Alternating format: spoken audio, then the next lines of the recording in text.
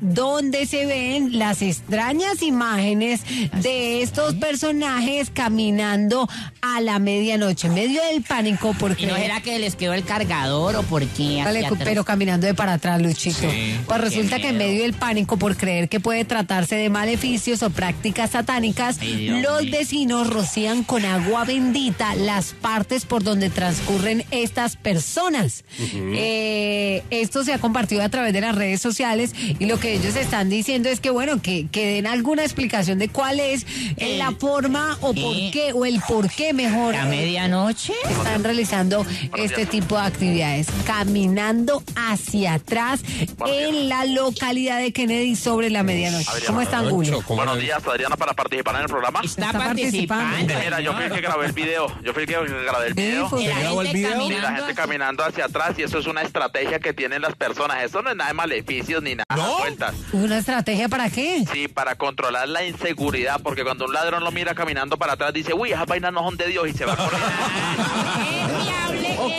Me toda la gusta. razón, sí. Es para como una aplique, estrategia. Buena estrategia. Vamos a pedirle a los oyentes si de pronto están ubicados en el barrio Catalina, segundo sector en la localidad de Kennedy, y usted ha visto esto que está sucediendo en este barrio y en la localidad, nos envía una nota de voz a través del WhatsApp Tropicana 350 675 1029 350 675 1029. Usted nos pone en la nota de voz en la parte de abajo barrio Catalina para que de pronto nos cuente más detalles de lo que está Y sucediendo no ahí en será su la gente que va a ir a comprar el día sin IVA al ver que los precios Pero- en verdad no los bajaron, empiezan a caminar Se hacia atrás. patrasean. Se patrasean y se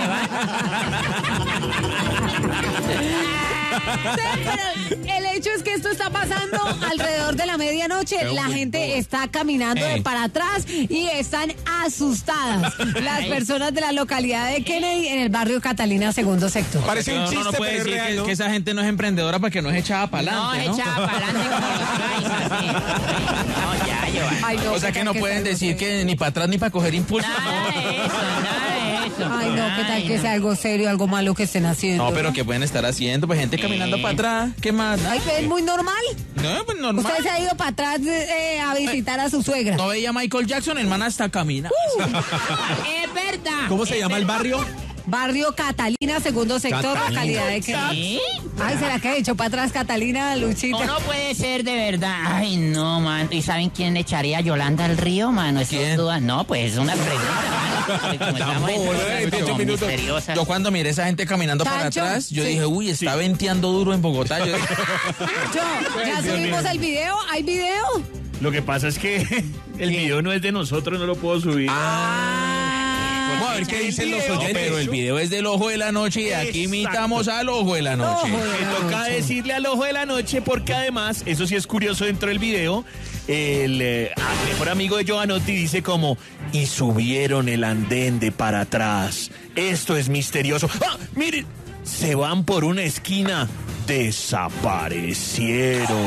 Y le quitaron el audio, le quitaron el audio porque el audio se, se escuchaba cuando decían, atención, este vehículo está retrocediendo. Ay, no y había un pitico que decía, clic, clic. Vamos a ver qué dicen los ¿Qué oyentes. dicen los oyentes? Adrianita, pregúntale a Eduard Gorras.